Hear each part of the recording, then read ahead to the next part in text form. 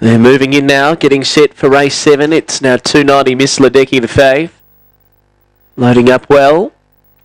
Second elect Murrabit Benny in box number two. So ready to go, green light. Off and racing and Miss Ledecky began quickly. She's going to cross over and lead, settling down by a half length Murrabit Benny and 90 Mile the Hawk along the inside, a line of three now. They're followed by New Wave, Vanderbay getting up behind them. Then uh, Aston Jill, Serendipity Man and Serendipity Gold. Miss Ledecky grabbed by Murrabit Benny. Murrabit Benny, I think, just nosing out Miss Ledecky as they bump right on the line. It might be Murrabit Benny and nose Miss Ledecky, but it's very, very close.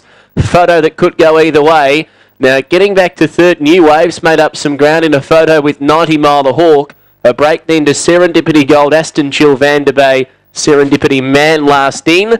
Photo finish probably could go either way. The two gets at 19.49 the time.